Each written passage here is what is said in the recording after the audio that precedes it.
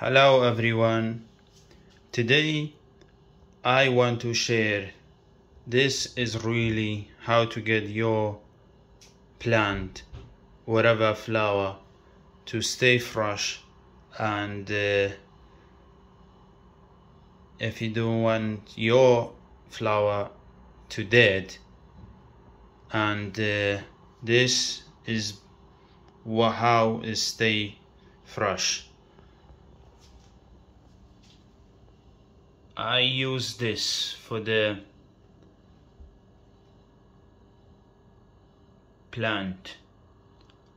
And uh, so like twice. And every seven days so you put two is you don't need mix with the water. Just put in the plant and then add some water. And uh, they this was nearly is going to dead. And uh, since we give this plant food it was come back really strong and it's really fresh. If you have any plant or you want to stay like this fresh and bright you have to get this for your plant. And this is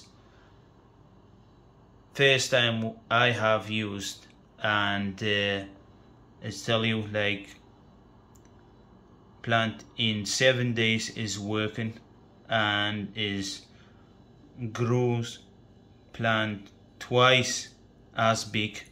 And I think is uh, I can see is twice grow up was than like before.